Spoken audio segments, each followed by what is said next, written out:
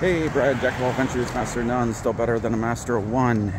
Uh, I'm doing my morning ritual, trying to get into shape for a marathon, and I'm to stick by the theme of my last couple of videos and um, just kind of further it for just a little bit. And that is uh, post my experiences with post-LASIK ectasia, and um, which mirrors the natural disease of keratoconus. And I guess my big reason for this is I see it as a big area where my personal experiences are unusual and can help maybe enlighten the public some or hopefully maybe inspire some others with keratoconus or post-LASIK ectasia that does have the experience of being temporary blind. Um, and I am temporarily very legally blind. Um, when eye doctors kind of check my rough vision, I mean, I don't see the big E on the eye chart, and they bring their fingers like, I'm about, probably about four feet from my face, maybe, maybe even less, before I can tell how many fingers they're holding up. So, I am still far from being like walking in the dark in the black, blackout, but it's, it is a very big challenge, and there is no way I can ever drive. Um, even crossing this street that I'm coming up to in front of me, actually making this video and being able to look to see if cars are coming or not in the video is way better. But the problem is there's a narrow field of vision. but at least I can see. Like if the cars were really there without their headlights on, I definitely wouldn't. And they were moving very fast, they would definitely hit me. um, or they'd have to slam on their brakes so hard. It, so I got to be extraordinarily cautious when I'm out doing this in the mornings.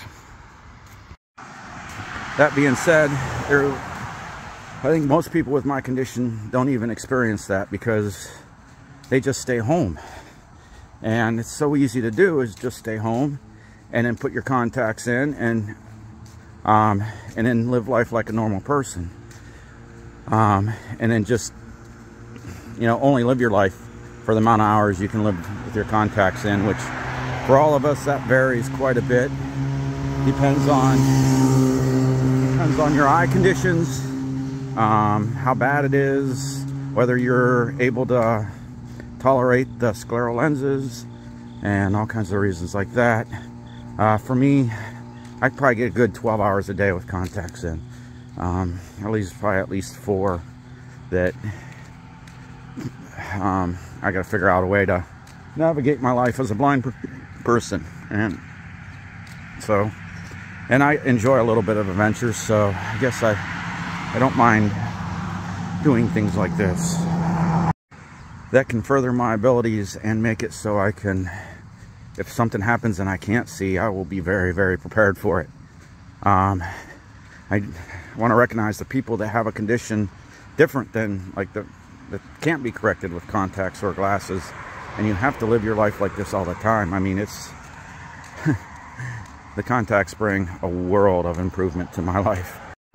Well, today, I don't know if you can tell real quick how poorly dressed I am, but the point is, I couldn't see, um, and I didn't lay out clothes I wanted to wear for this run because I actually wasn't planning on it last night when I went to bed.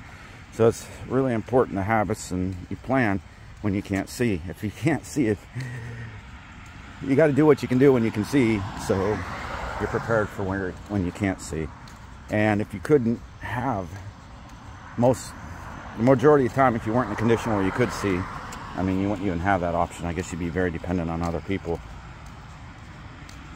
But fortunately that's not a problem for me. All right. Well I'm gonna call the call it quits for this video. Hopefully I covered a couple things. You can start to understand why um, why it's a unique experience to have temporarily blindness. Um, here's an example. I'm on regular, just regular zoom here. In this vehicle here, I could just see there's there's a big yellow thing out there. so I'm gonna walk towards it and I'm pretty sure, I don't remember it being there.